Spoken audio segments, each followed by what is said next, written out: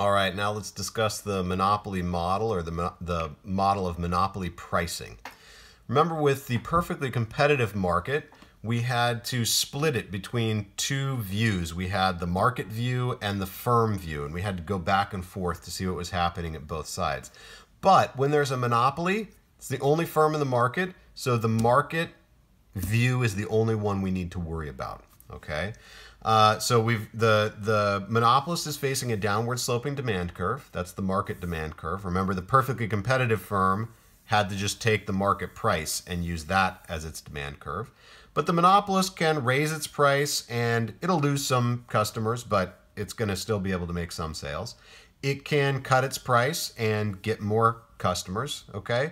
And so the monopolist is having to decide what price do I want to set in order to maximize my profits. Now, let's talk about, remember in the last lecture on perfectly competitive markets, we talked about marginal cost and marginal revenue. In order to make sense of the monopolist choice, we need to add those to this graph. Now, for marginal cost, we're going to make a simplifying assumption for the monopolist, and that is that he's got, uh, what would you say, constant marginal cost. So it's not going to be a U-shaped curve. It's not going to be a, a, curve that starts at zero and then increases. For simplicity, we're going to model the monopolist as having uh, a marginal cost curve that's just a straight line.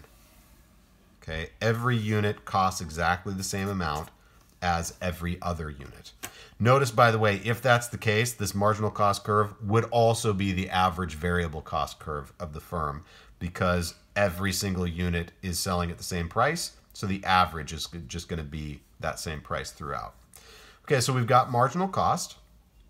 Now, it turns out that the monopolist is also going to want to set marginal cost equal to marginal revenue uh, when it produces its optimal level of output, its profit maximizing level of output. But in order to figure out where that might be, I need to take you through um, through some logic and reasoning uh, with regards to the quantity that the firm could produce, the price at which they could sell that quantity of units, uh, the total revenue they would earn at that level of output, and what their marginal revenue is. So let's go through that. Uh, I'm going to just mark in the following levels of output. One unit, two, three, four, and five. Okay. Now here's what, I'm not going to worry about what happens if you're selling zero units. That's as long as you set the price above, at or above the y-intercept of this demand curve. Okay.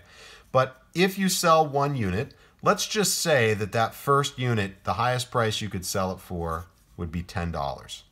Now, if you wanted to sell the second unit, you would have to cut your price from 10 to 9. To sell a third unit, you'd have to cut the price again from 9 to 8. To sell the fourth unit, you'd have to cut the price again now to $7. And we'll say if you cut the price to $6, you could sell five units. Okay. Now, also keep in mind, we're assuming that the monopolist is charging a single price so they can't sell the first one for $10 and then sell the second one for $9 and then sell the third one for $8. If they want to sell three units, they have to sell all three of them at a price of $8. If they want to sell five units, they have to sell all five of them at a price of $6. Okay, so what is their total revenue going to be? Well, it's just going to be the quantity of units they sell times the price. So we just multiply the numbers in these two columns total revenue would be $10 if they sell one unit. If they sell two units, 2 times 9 is 18. 3 times 8 is 24. 4 times 7 is 28. 5 times 6 is 30. And what is marginal revenue? Marginal revenue is how much extra revenue are you getting by selling that additional unit. Total unit uh, revenue would obviously be zero if you're not selling any units. So on the first unit that you sell, your marginal revenue is going to be those 10 extra dollars that you would get. Now, if you set your price at $9 and sell two units, your total revenue is going from 10 to 18. So your marginal revenue is $8 on the first unit. If you sell a third unit, your total revenue would go from 18 to 24. And so your marginal revenue on that unit would be 6. The difference between 24 and 28 is $4. So marginal revenue would be $4 on the fourth unit that you sell. And the difference between 28 and 30 is 2. Okay. Now, notice the relationship here. This quantity and price, these combinations, that's mapping out the demand curve. Okay. What about the quantity and marginal revenue? Well, that is mapping out what the marginal revenue curve looks like. And notice a couple of things. First of all, the marginal revenue starts at the same level as the price, which tells you that our marginal revenue curve, it's going to begin where the demand curve does at that same point. And now notice something else.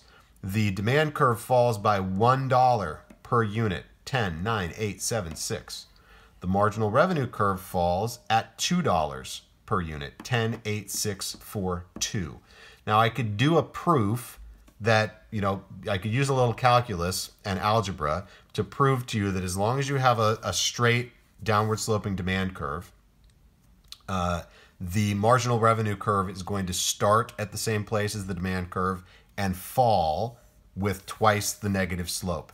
It's twice as steep as the demand curve is could show that to you. Don't want to take the time to, and not everybody's taken calculus yet, so it wouldn't do you all that, some of you, all that much good. Uh, but just take this specific example as proof enough that our marginal revenue curve we can find by starting at the same point as the demand curve starts and then it's going to fall to wherever the demand curve hits the y the x-axis you go half that distance. That's going to be where the marginal revenue curve hits the x-axis. It's going to look like that. Okay? All right. So, got our marginal revenue curve, our marginal cost curve, and it turns out that, like I mentioned before, a monopolist is going to use the same rule to maximize profit as a firm in a perfectly competitive market. That is, set your output where marginal cost equals marginal revenue. It's just that for a monopolist, that has a different um, a different implication for what you're going to do. So find that point where this green curve intersects the, the red curve. That right there is the point where marginal cost is equal to marginal revenue. Now, if we drop this line down to the x-axis, that tells us QM, the quantity of units the monopolist would produce. And now the question is, what price would the monopolist charge? Well, the monopolist is going to want to charge the highest price that they possibly can for that level of output. And to find that highest price, we ignore the marginal cost curve, we ignore the marginal revenue curve. It's the demand curve that tells us the highest price we could sell those QM units for. So we take this, this point and we plug that quantity of units into the demand curve. Wherever it hits the demand curve, that's going to tell you the price. So you get a price, PM. And remember, what I said in the last video about uh, definitions. If you have market power, that means you can set your price above marginal cost and not lose all of your customers and that's what's going on here this by the way i'll get to the in the on the next sheet of paper that difference between marginal cost and price that's called the monopoly markup okay before we get to um, discussing the monopoly markup and how it interacts with elasticity I want to show you now how the uh, how you end up what would you say how the gains from trade are carved up. Now notice that all the available gains from trade is this large triangle here that's bounded above by the demand curve and below by the marginal cost curve. That tells you the difference between what it costs to produce a unit and what somebody values it at for every single unit that gets produced. So those are all the available gains from trade. How does that get carved up under monopoly? Well, the firm is going to capture all of the surplus that is below the price that they charge and above the marginal cost of producing those units for the number of units that they produce. So it's going to be this rectangle right here. Okay, call that the monopoly profit.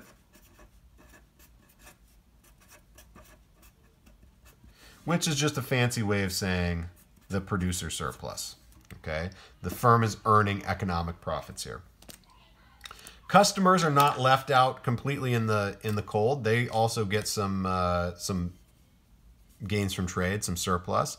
It's going to be the difference between the price that the monopolist charges them and the highest price they would have been willing to pay, which is defined by this demand curve.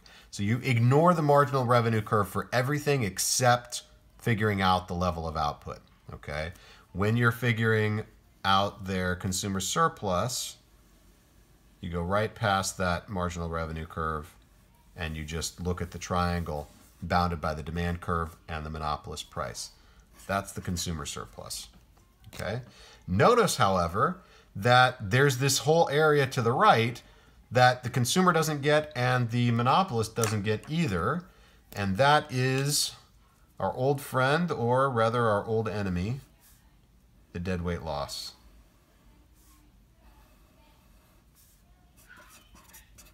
There's this level of output where uh, from the QM, from the level of output that the monopolist would produce, all the way to the point where marginal cost hits the demand curve.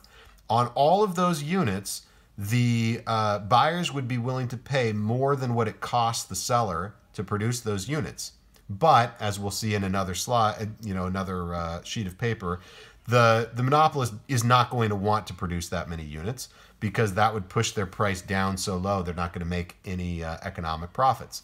This price and this quantity maximizes the area that the monopolist can capture. So that's where they want to stay. So, a couple of things. Note that because there's at least one barrier to entry, new firms can't come in and compete with the monopolist and push that price down. And second, this deadweight loss, this is the economic cost of monopoly. Just like a deadweight loss is the economic cost of a tax. The deadweight loss is an economic cost of monopoly. This is what economists worry about when we worry about monopoly. It's not that the monopolist is earning all these profits. That's fine. At least somebody is getting that money, okay? It's not that we necessarily want the consumer to get more surplus than the consumer is getting out of this. The big problem from an economic and social standpoint is there's this waste.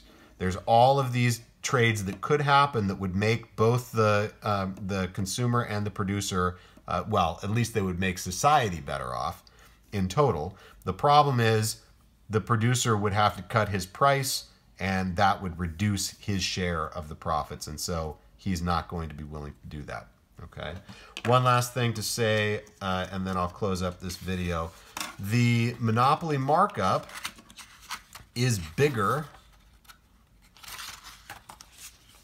when you have a steeper demand curve. Okay, look at these two different graphs that I have here. Here is a market with a pretty elastic demand curve. Here's a, a market with a more inelastic demand curve. This might be an example like, um, I don't know, the demand curve for Coca-Cola or maybe the demand curve for um, a cruise vacation, okay? Demand is pretty elastic in that case. Now notice what that implies. You take, find the point where marginal cost equals marginal revenue. And that sets the level of output, QM. Wherever that QM hits the hits the demand curve, that's going to set the price.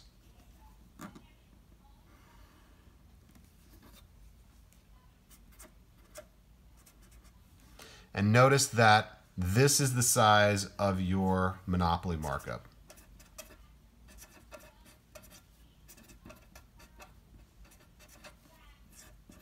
Okay. So if the monopolist is selling something that is um, pretty elastic, consumers have lots of substitutes that they could go into instead, the monopoly markup is just not going to be that big. okay? Because the, the firm's going to lose a lot of sales by pushing up its uh, profit margins, okay? So there's not going to be that much monopoly profit to be earned, and at least the height of the deadweight loss is going to be, you know, relatively uh, small. Over here, find that point where marginal cost equals marginal revenue.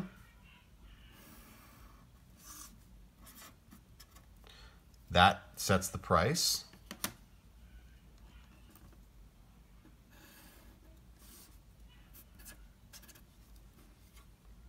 Okay. And now the monopoly markup is going to be quite a bit bigger.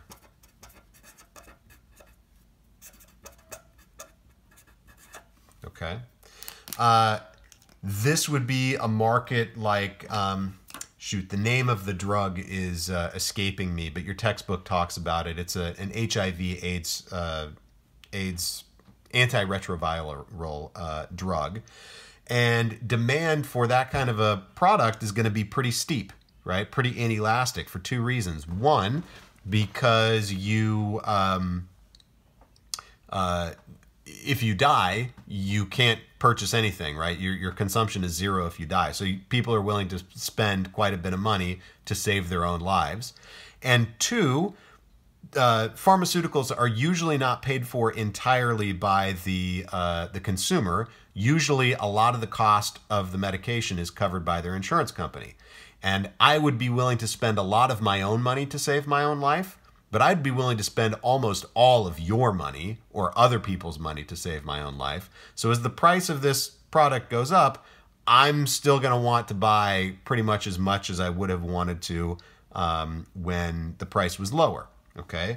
Now, under those circumstances, those types of firms can charge very large monopoly markups and earn significantly larger uh, economic profits for themselves.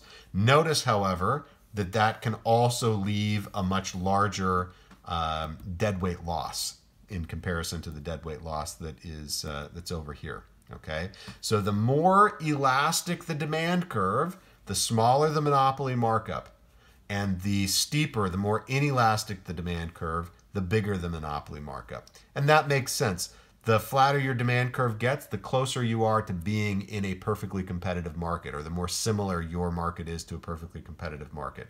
In a perfectly competitive market, the demand curve is totally flat, and you end up with no monopoly markup.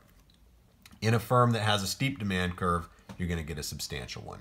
So that is it on uh, monopoly pricing and the monopoly markup.